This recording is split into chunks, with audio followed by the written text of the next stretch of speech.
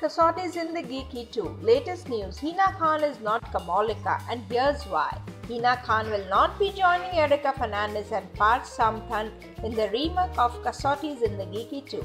Ekta Kapoor's much awaited remake Kasauti Zindagi 2 is all set to go on air in the next month and the fans are trying to gather as much information regarding the show as possible. The speculation regarding the cast members of, has been circulating in the social media since a long time but the official confirmation has only been made about Erica Fernandes and Parth Samthaan being the lead actors of the show.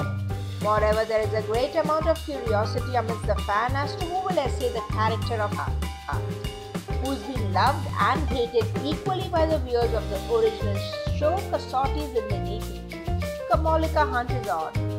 There is a there has been a strong buzz that Bigg Boss 11 fame Hina Khan will be the new Komolika, but neither the actors nor the producers have given any confirmation about this buzz. However, the latest update suggests that Hina Khan will not be the part of the show at all.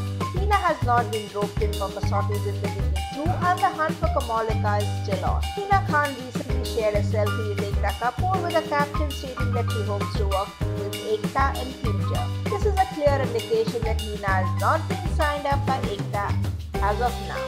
Let's wait and see which actress will surprise the role of Komolika. Keep watching our channel TV Prime Time for more such exciting updates and upcoming twists.